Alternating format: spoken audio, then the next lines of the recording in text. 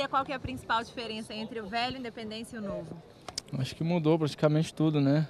A estrutura, né? o gramado.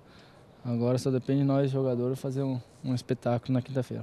Qual a sensação quando você entrou no, no, no gramado ali? É, acho que o Brasil todo tem que mudar, né? Os estádios tem que mudar para melhor.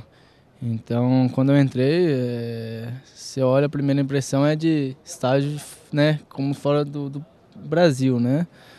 É, no México todos os estádios são assim também, para até melhorar também o rendimento dos jogadores dentro de campo. Então, acho que no Brasil tem que pensar muito nos estádios, não só da primeira, mas como da segunda divisão, fazer bonitos estádios assim para render mais futebol.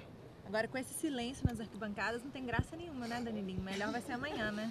Com certeza. Hoje não tem ninguém, mas amanhã completamente vai estar lotado.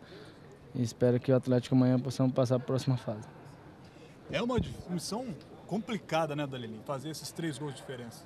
Com certeza. Eu acho que para fazer o, os três gols, primeiro você tem que pensar o primeiro, né? Então, a nossa missão amanhã é fazer o, um gol mais rápido possível para depois buscar o segundo e aí sim buscar o terceiro gol. Mas primeiro tem que sair rápido para para a torcida apoiar nós e nós conseguir esse objetivo que é a classificação. Tá, o primeiro gol tem que sair rápido. E como trabalhar para que esse gol saia rápido? O que, que vocês fizeram? O que, que pode ser feito para que ele saia rápido?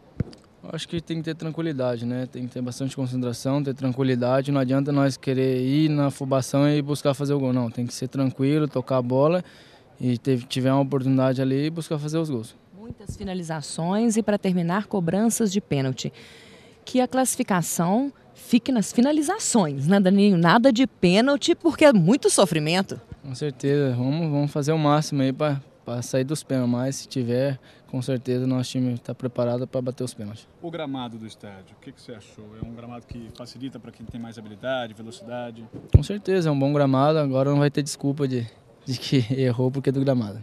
Agora, e o campo? Ele também é menor, né? A gente tinha uma dimensão maior aqui no Independência era uma dimensão de 110 por 77, agora é de 105 por 68. É um, é um campo menor, as dimensões são menores. Com certeza, eu acho que até para pressionar mais, eu acho que vai ficar mais, até mais fácil. Mas o campo tá bom, excelente para tocar a bola, né? Então espero amanhã nós fazer uma boa partida e, se Deus quiser, sair com a classificação. Facilita para quem vem para se defender, como no caso do Goiás? Eu acho que para os dois lados, né? também para nós ali para finalizar também vai estar bom porque é, você saiu um pouquinho do, do, meio de campo ali já dá para ver o gol ali que está perto então para os dois lados vai ser dificuldade amanhã. Sinal então que o Atlético vai arriscar muitos chutes amanhã de fora da área. É, vamos buscar, vamos buscar sim. Tem bastante finalizador aí no time.